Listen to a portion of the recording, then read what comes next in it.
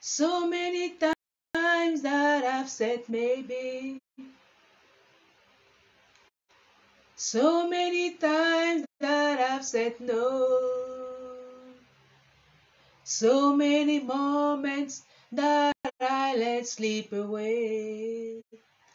But now I give my yes to you.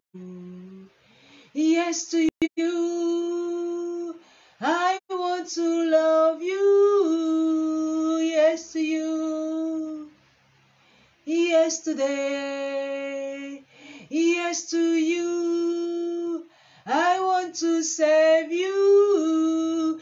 Yes to you. Yes today. I love you, Jesus. I love you, Jesus. I love you, Jesus. I choose you, Jesus. I worship Jesus. I honor Jesus. I choose you, Jesus. I love you, Jesus. Above my life, above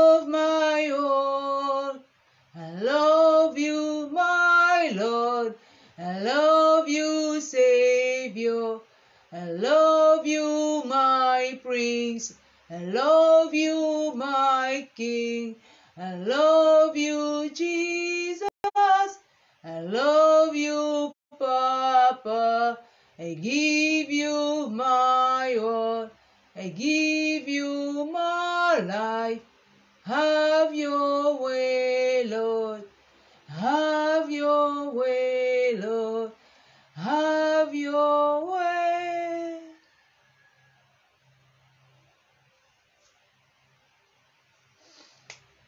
Father God, in the mighty name of Jesus, I come before you this morning.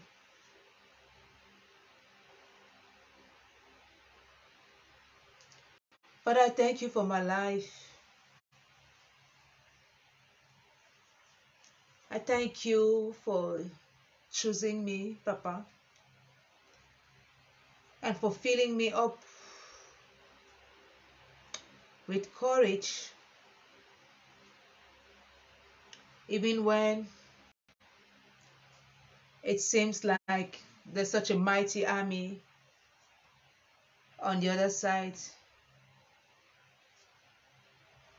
Thank you for this new day. Thank you for everything, Papa. I give you all the glory, Papa. I worship you without fear, Papa. I come before you, Yahweh. I stand at your feet. I break my alabaster box before you. Papa, continue to take me and use me. Broke me, melt me, fill me, mold me. Do it all, Papa, just as you please. You are Yahweh. You are the Alpha and Omega. If you are with me, Papa, who can be against? Speak it to yourself, children of God. Even you who are out there in the world, the world can offer you no guarantee. Maybe for a season, maybe for a minute, maybe for a night, maybe for a day. But no, there's so many strings attached and it costs us so much. But with God, there's complete assurance. Those of us on his side might seem to tremble, but it's out of reverence for him and in awe of what he's doing and how he delivers and how he sets us. He, he, places, he lays a table before us in the presence of our enemies and how he sends us on, on assignments that the mere man cannot even fathom. And we go and we fear not. He gives us that kind of courage. The kind he gave Moses, the kind he gave Joshua, the kind he gave Gideon. the kind he gave Deborah, the kind he gave Samson, even when his eyes were plucked out. Father, I thank you for this morning. Yes, the hour is rife. For me, is the eve of my my next chapter, Papa. And I understand. I understand what I'm shedding, Papa. And I do it without fear. Thank you for the message this morning, Papa. I pray not only for myself, I pray for all the people who follow this ministry on any platform and will look to reconnect and connect with you, to connect and reconnect in a very special way. We have to bury the old, and that's the symbol of black. We have to bury it. We have to cast it aside. We have to let it go. And even if it's red and in the horizon and, and it seems like there's danger and there's fire burning, we don't have to fear. Who was Moses to stand before Pharaoh? But you made it happen. Thank you, Father. Holy Spirit, continue to breathe, breathe, breathe, breathe, breathe, breathe. Have your way, have your way, have your way. Always unbridled. In Jesus' name, I pray to you this morning, Papa. I love you, Jesus. I love you so much. Thank you so much, Jesus. Thank you. I am grateful, Jesus.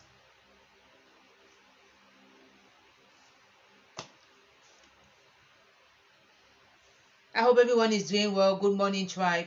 Sometimes the message is solemn, sometimes uh, the, the atmosphere has to reflect that. Sometimes the instructions are firm.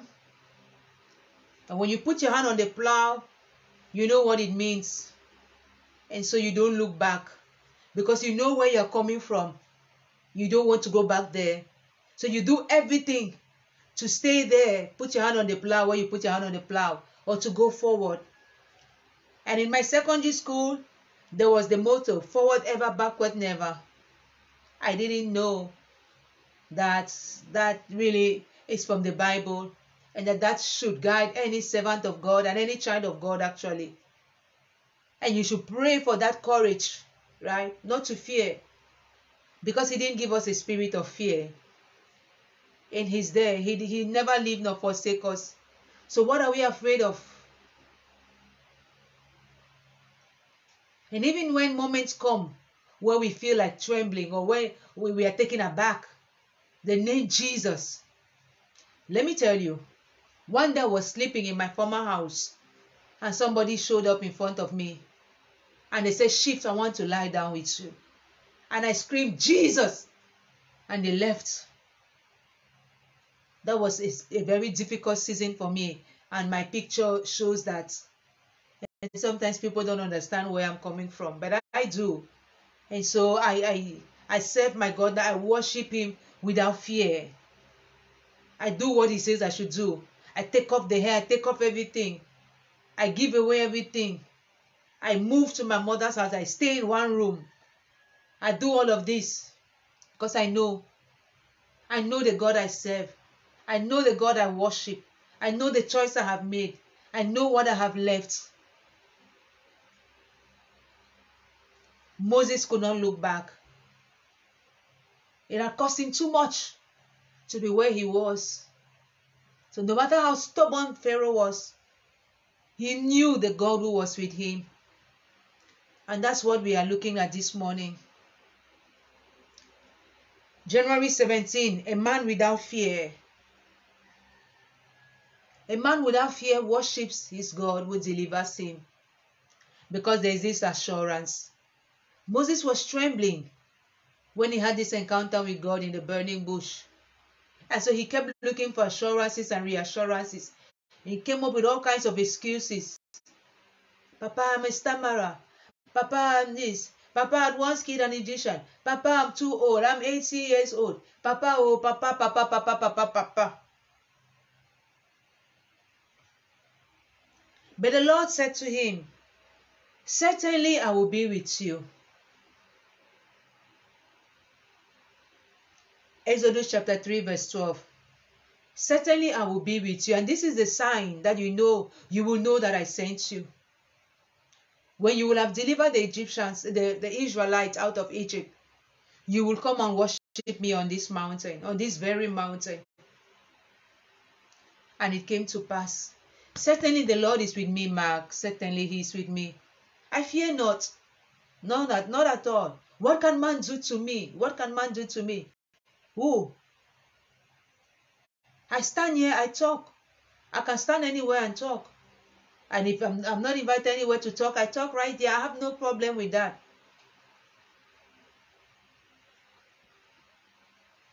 Of course, if the Lord sent Moses on an errand, he would not let him go alone. The tremendous risks involved and the great power required would make it ridiculous for God to send a poor lone Hebrew to confront the mightiest king in all the world and then leave him to himself. It could not be imagined that a wise God will match poor Moses against Pharaoh and the enormous forces of Egypt. Enormous to the point where he had to take nine plagues to get Pharaoh to let the, the, the, the people go. And even after he let them go, he still had a change of mind. That's how stubborn and hardened of heart he was. And he chased after them with all his enormous army. And then the Lord did it. Oh my goodness. God. When I think of the goodness of the Lord and all he has done, not only for me, but for, for, the, for, the, for his people, right from the Old Testament, everywhere. This is Exodus. We are saying it. A God of compassion. A God who did not just cast Adam and Eve out and never care about them again. A God who made that promise to Noah. Now I'm not going to do this ever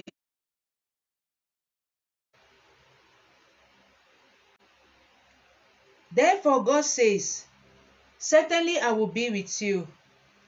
As if it were out of the question that He would send him alone. Uh, God is with me. I might be one, but God who is in me is greater than everything that is out there. You care, you claim, you care, you don't claim. But I know. And I stand here because God says I should. And no human being can tell me to stop. Only God. Charles Spurgeon says it. In my case also, the same rule will hold true. What about you? What's happening in you, in your life? If I go upon the Lord's errand with a simple reliance upon his power and a single eye to his glory, it is certain that he will be with me. His sending me commits him to back me up. Yeah. The God will God will back up what he commands and he orders my steps. I lean not on my own understanding. That is my my my personal special memory verse. Someone told me yesterday his memory verse was the verse to Joshua, right? Uh, uh, no, not be bold and courageous, but I'm not giving you a spirit of fear, that was his verse. You know, God gives, reveals himself to us in different ways and he gives us, seek him and you will find him. Knock. Are you knocking? Stop knocking on the man of God's door. Knock at God's door now. Kneel down right there in your sacred place, in your room. Seek him. Seek him.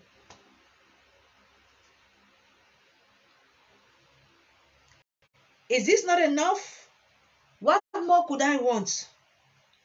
If all the angels and the archangels were with me, I might fail. But if God is with me, I must succeed. It's a must. And you know what the world considers success is not what God considers success. I'm a success. I have no car parked out there. I haven't built any house, but I am a success. Many will go through what I go through, who went through what I went through, are in some ghetto somewhere in the in the graveyard somewhere and all of those things so to be here and to be serving god this way This is success. So I honor God with that. I might not throw no fancy party for my birthday. I don't want no food. I don't want no clothes. I don't want no nothing. I just want to say thank you, Father.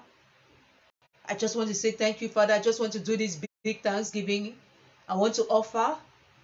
And God has already done that. So whether anybody sows anymore, nobody or whatever, nothing. I don't I don't hold nothing in my heart against anybody because God has shown me. I mean, even people, I, mostly people even I didn't even know that they could sow like that. They have, right up to my children. So isn't that success? Because I surrendered it all to God and I just walked in obedience. Even when He told me when it was day nine, He said, put it on your various family forums. And I was like, Papa, me, I only obey me, you.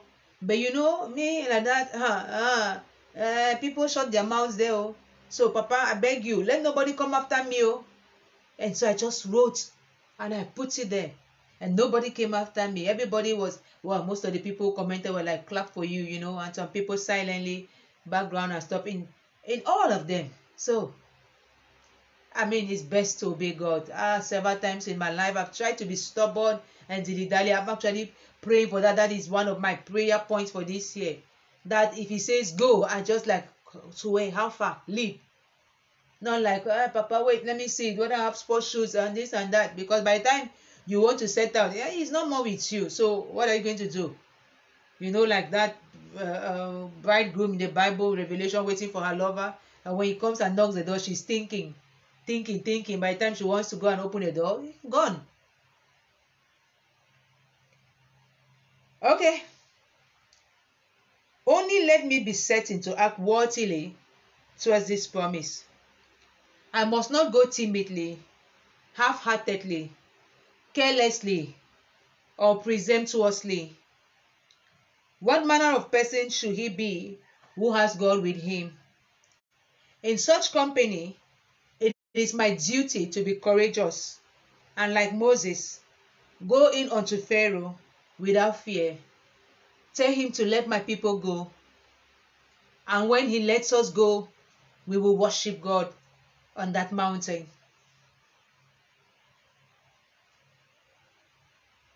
The word of the Lord, our devotion for today. Yes, you deserve it. You deserve You deserve it. My hallelujah belongs to God. My hallelujah belongs to you. My hallelujah belongs to God. My hallelujah belongs to you. I don't know who your hallelujah belongs to. I don't know what you are seeking. I don't know where you go to get your own courage from. You know, me, in my baldness, in my black, in my serene and uh, okay. You are Yahweh. You are Yahweh. You are Yahweh. You are Yahweh. You are Yahweh Alpha and Omega. You are Yahweh, Alpha and Omega.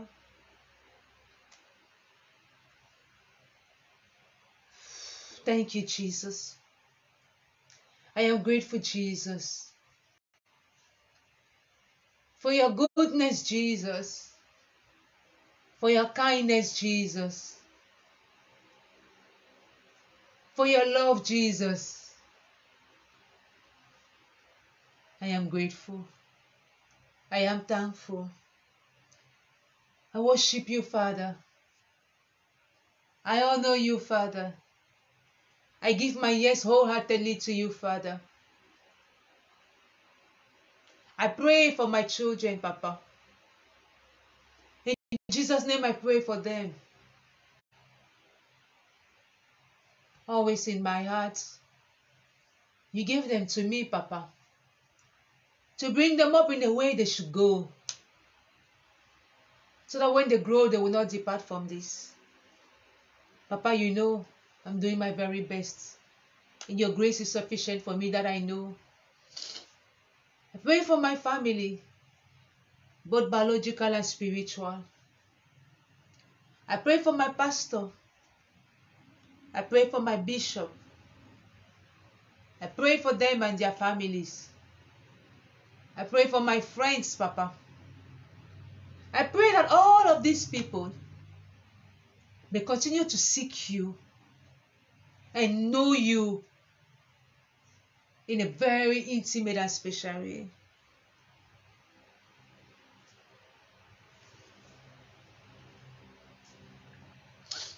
Papa, I pray for all those out there in the world who are still dilly dallying and hitting their heads and trying to figure things out on their own and chase whatever they're chasing and follow whoever they're following and, and indulging in whatever they're indulging, Father. Dare I say, they do not know what they're doing, Papa. You who gives that knowledge and wisdom and understanding, you will shake things up. You will meet people. You, Jesus, you who met Saul on his way to Damascus. You, Jesus, who has met me time and again in my most desperate hours when I cried, I said, Jesus, Father, give me a sign, and you gave me a sign, Papa. Meet them, Papa. Give them signs, Papa. Shake them up.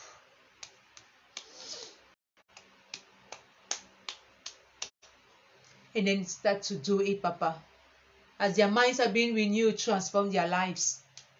So that without fear, they might worship you. And they might be bold enough to stand before Pharaoh and say, Let my people go. And say, I decree and I declare. And say, Jesus. And say, Blood of Jesus. I fear no evil. Who are you? Who are you, small demon? Who tried to scare me last night? Who are you? In the mighty name of Jesus. I have a mother who prays. She taught me to pray at all hours. And now Jesus Himself and the Holy Spirit Himself teaches me.